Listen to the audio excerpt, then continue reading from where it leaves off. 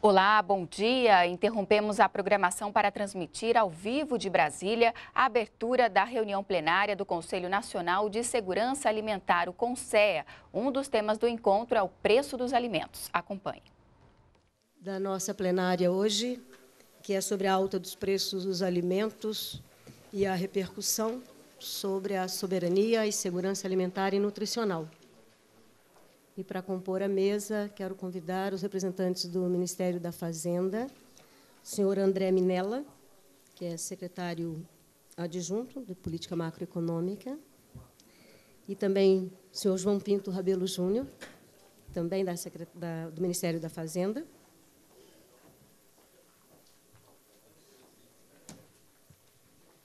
Convido o senhor Clemente Gans Lúcio, diretor técnico do DIESE,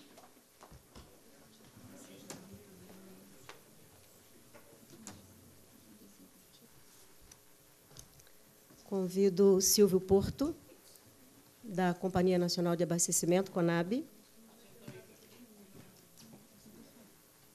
E também convido o conselheiro Renato Maluf.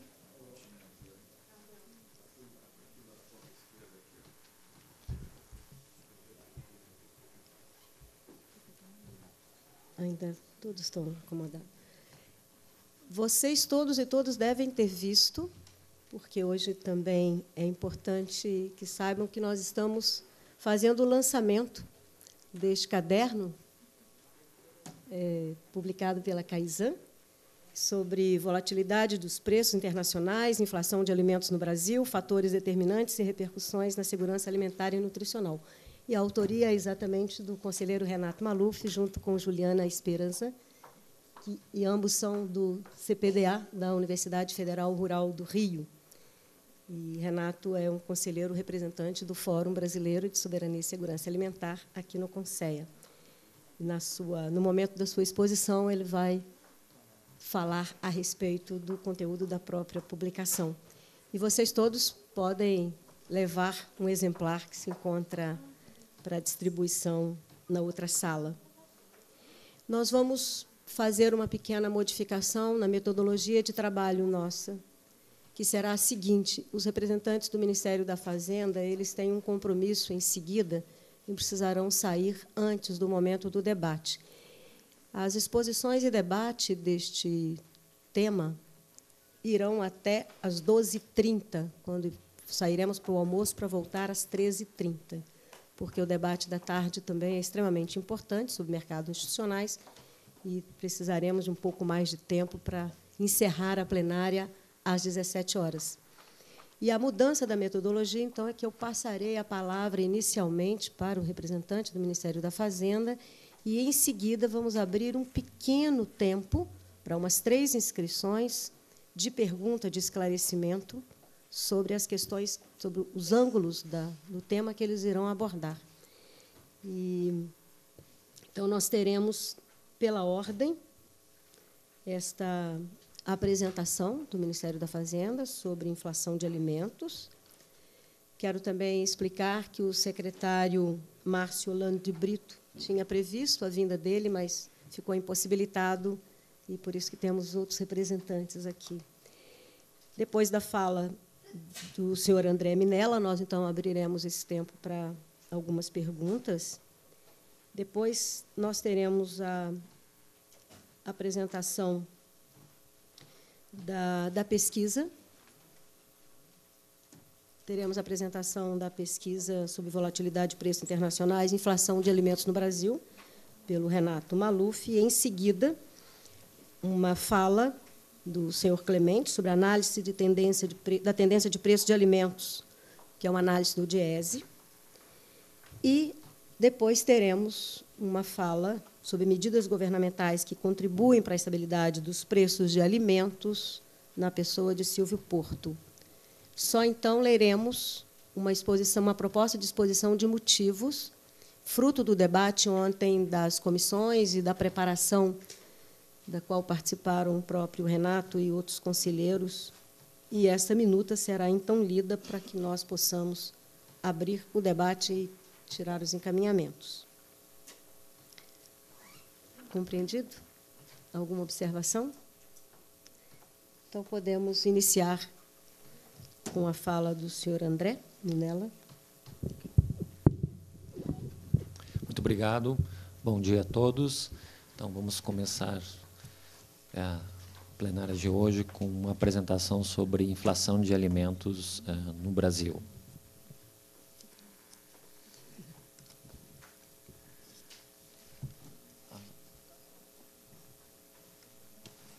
Você acha que é melhor apresentada ali?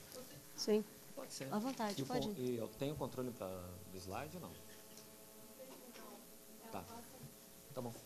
Fica melhor porque eu consigo ver a minha apresentação.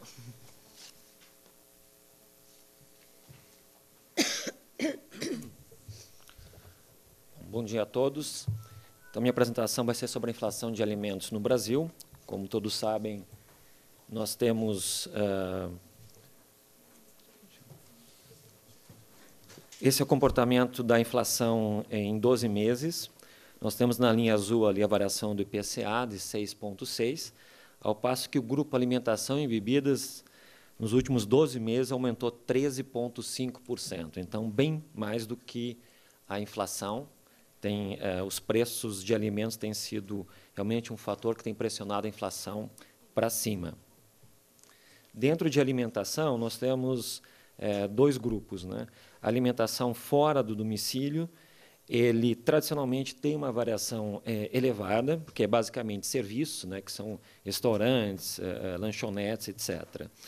Mas, particularmente, o que tem impressionado bastante é a alimentação no domicílio, quer dizer, os produtos que se compram no supermercado, nas feiras, que chegaram aí a um aumento de 15,2% nos últimos 12 meses. Um dos fatores, desculpa, um dos fatores desse aumento, é, principalmente ali no período de setembro, outubro, é, novembro do ano passado, foi o problema da, da seca inédita no, nos Estados Unidos, que levou a um crescimento muito grande do preço de grãos. Então, se a gente olhar nesse gráfico aqui, nós temos na linha azul o preço do, dos alimentos no, no, mercado de Chicago, é, das commodities de, de alimentos. É, nós temos a variação aí nos últimos 12 meses, então, e a gente verifica que no segundo semestre do ano passado a gente teve um crescimento da variação desses produtos, combinado também com um crescimento da taxa de câmbio. Também a gente teve no ano passado é, é, uma depreciação na taxa de câmbio que também ajudou a pressionar para cima o preço dos alimentos.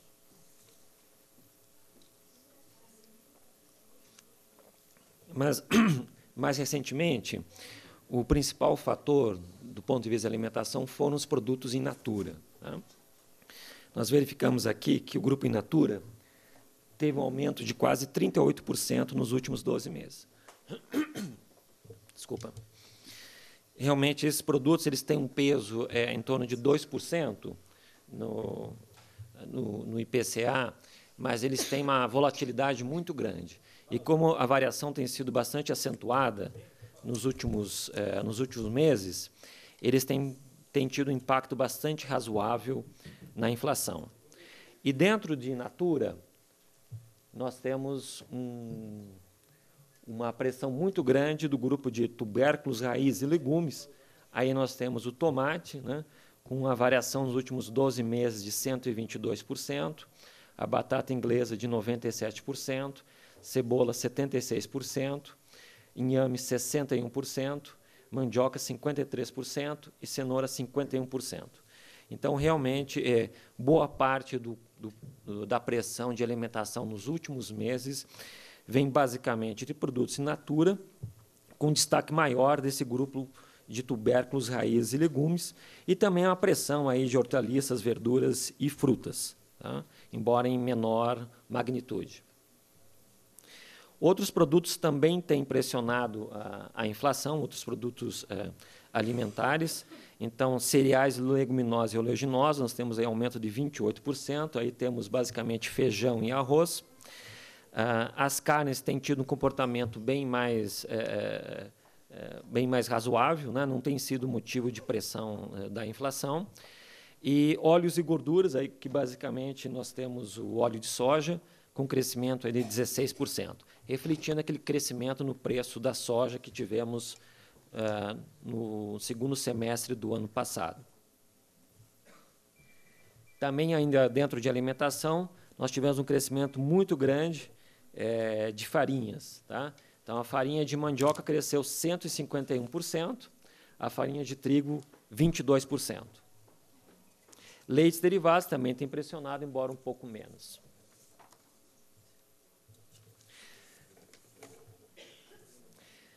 Nesse slide, nós temos a classificação do IPCA nos diferentes grupos. Então, nós temos aí, basicamente, é, nove grupos no, no IPCA alimentação e bebidas, habitação, artigos de residência, vestuário, transporte, saúde, cuidados pessoais, despesas pessoais, educação e comunicação.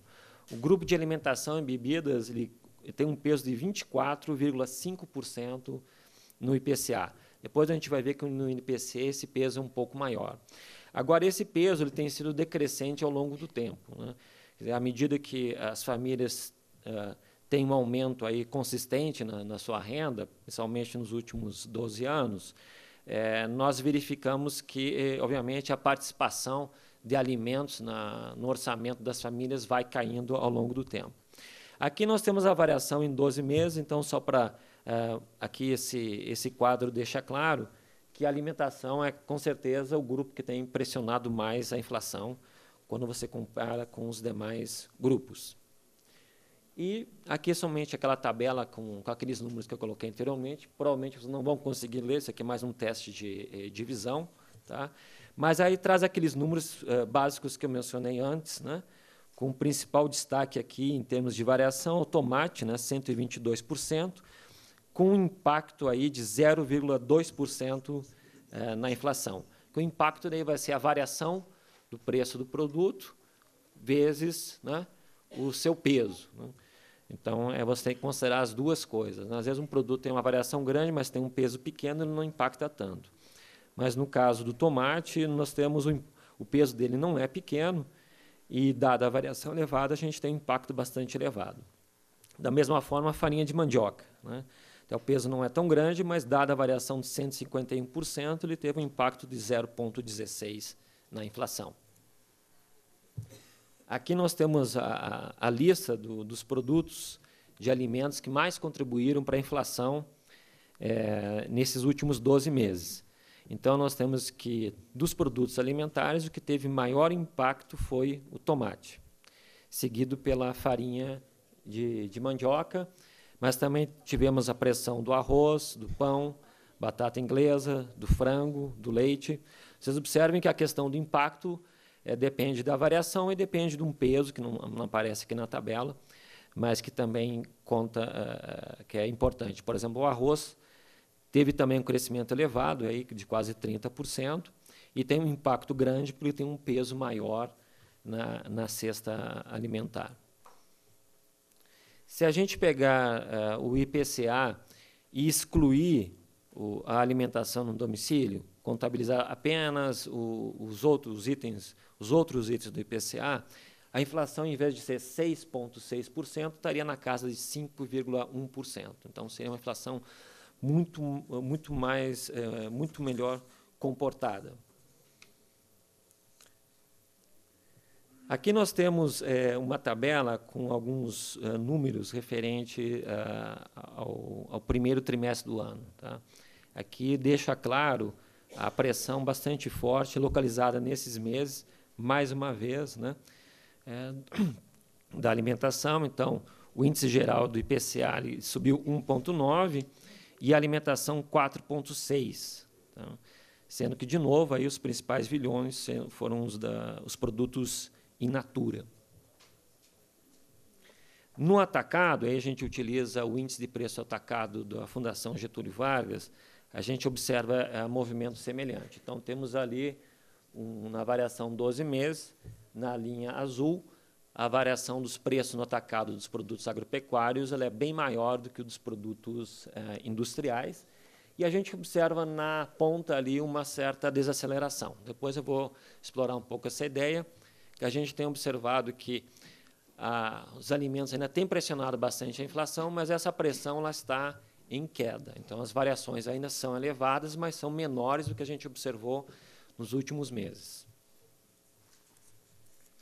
E esse gráfico ele procura ah, pegar a variação dos últimos três meses do IPA agrícola com o IPCA alimentação no domicílio. A gente pode ver que tem uma correlação bastante elevada, mas chega no final da amostra, parece que abre uma boca do jacaré ali, que está de novo relacionado com os produtos in natura, porque ele tem um peso bem menor no IPA, tá?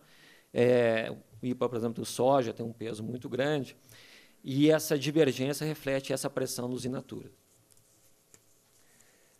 Mas verificando o IPA na margem, na variação é, mensal, a gente verifica aí que desde janeiro nós temos variações negativas. Né? Nós temos deflação no índice de preço atacado dos produtos agropecuários. Né?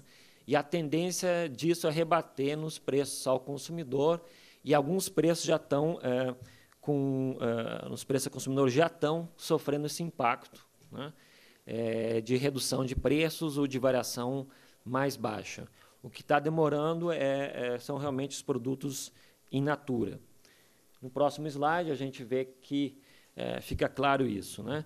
Do lado esquerdo, nós temos aí os produtos é, é no atacado que têm crescido bastante. Temos tomate, batata inglesa. E, do outro lado, nós vemos aí as variações negativas. Né? Então, no IPA, o IPA, último IPA que nós temos disponível, o IPA 10 de abril, a soja aí teve uma queda de 5%, o milho de 7%, mandioca de 7%, aves 4%, arroz mais de 5%, suínos 5%.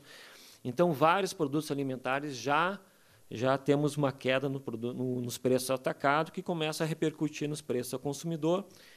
Os produtos in natura ainda estão pressionando, sendo que o repasse do produto in natura é mais rápido para o consumidor. Tá? O repasse é praticamente imediato.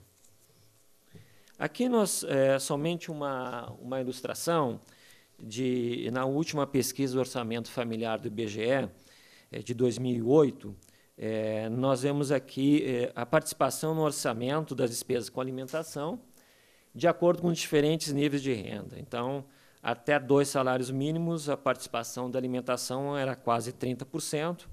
E depois, à medida que vai, como se espera, né, à medida que vai aumentando a renda a, da família, essa participação da, da alimentação vai se reduzindo, então, chegando até a 12% no caso de famílias com mais de 15 eh, salários mínimos. Dentro, uh, dentro de alimentação, o item que tem maior peso é, é, é carnes. Né?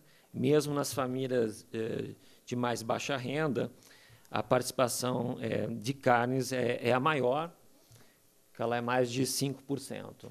E também uma participação razoável de aves e ovos. E no slide seguinte, também vemos aí uma participação importante de leite e, e panificados e, e bebidas. Agora, uh, um pequeno detalhe técnico aqui sobre a diferença do IPCA e INPC, como muitos de vocês sabem, né? O, o IPCA ele, ele pega uma, uma cesta, um orçamento de famílias que ganham entre 1 e 40 salários mínimos, enquanto que o INPC é de famílias que recebem entre 1 e 5 salários mínimos. E como resultado disso, nós temos que o peso de alimentação e bebidas ele é maior é, no INPC do que no IPCA. Então, atualmente, enquanto o IPCA tem 24,5% de peso do, dos alimentos.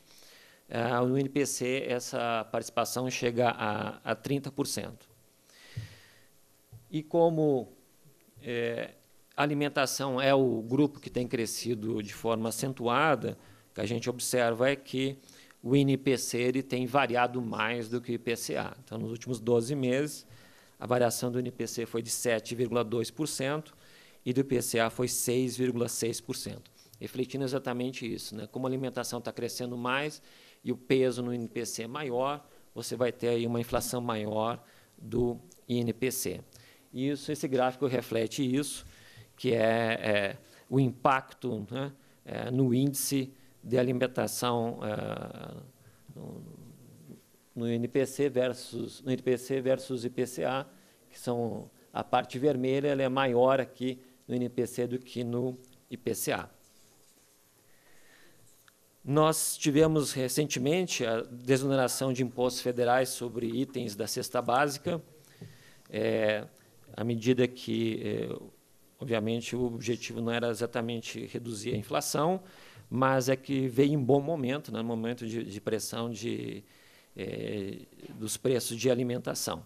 E esses itens desonerados eles têm um peso no IPCA de 6,6%. E, em princípio, esses produtos é, que foram objeto dessa desoneração, ah, têm apresentado um comportamento bem, é, bem positivo, positivo aqui no sentido que, que a gente quer. Né? O comportamento deles é negativo porque a variação é negativa, mas é positivo no sentido de é, que é bom para a gente. Então, o próximo slide, por exemplo, traz aí, ah, se pegarmos os produtos que foram desonerados, eles eh, tiveram uma queda aí de 0,5% no, no IPCA de março, e sendo que no IPCA 15 de abril, que ele pega assim entre os, os dados entre 15 de março e 15 de abril, essa queda chegou a 1,47. Tá? Então, é, em princípio, é, a, isenção de impostos federais repercutiu aí positivamente nos itens da, da cesta básica.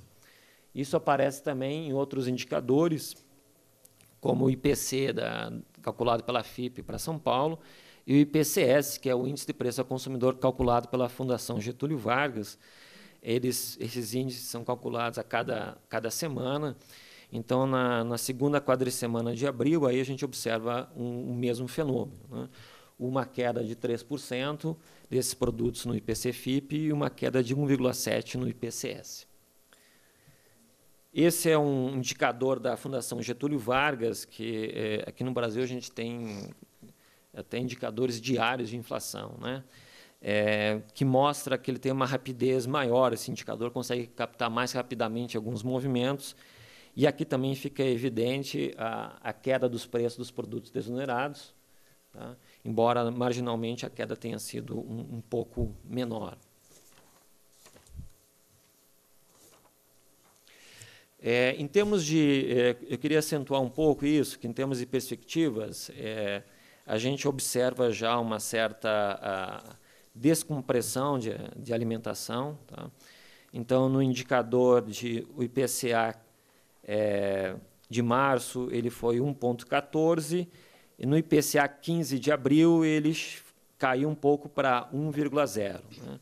Hoje tivemos também o o indicador da o IPCS da Fundação Getúlio Vargas, que saiu hoje, também mostra aí uma queda no crescimento uh, dos preços da, de alimentação. Então, a tendência, em princípio, agora é a gente observar é, ainda valores elevados, mas pelo menos um, uma variação um pouco mais baixa.